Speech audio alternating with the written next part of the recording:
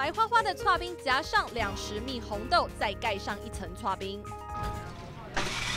刨冰塑形后，放上晶透的茶冻与红白汤圆，淋上特制玫瑰果酱，撒上少许花瓣点缀。玫瑰做的玫瑰酱，主要是这个东西，然后上面还有客家汤圆跟万丹的红豆，然后跟铁观音的茶冻，它的量不会太多，所以最多最多也有大概一百而已。而且它粉红色就也蛮少女心的感觉，然后它吃起来就是有玫瑰，然后还有加橘络。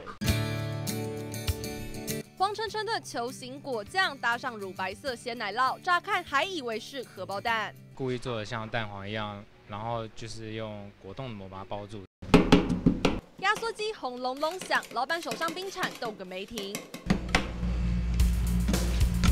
将冰淇淋铺平，卷成一束束像花朵般的冰淇淋。现烤棉花糖香气四溢，配上小熊饼干，卡哇伊的外形，许多民众慕名而来。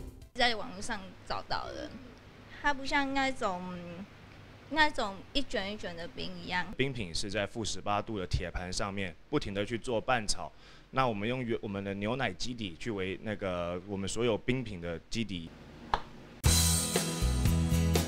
利用新鲜牛奶水果当基底，特制炒冰店在短短一年内就开了四家分店。光是综合美国就要做到快一百份左右。那陆陆续续，我们在中国大陆部分会有更多家的店。夏日冰品透过业者创意研发，马上攻占消费者的心。东森财经新闻陈金雄、黄富祥台北采访报道。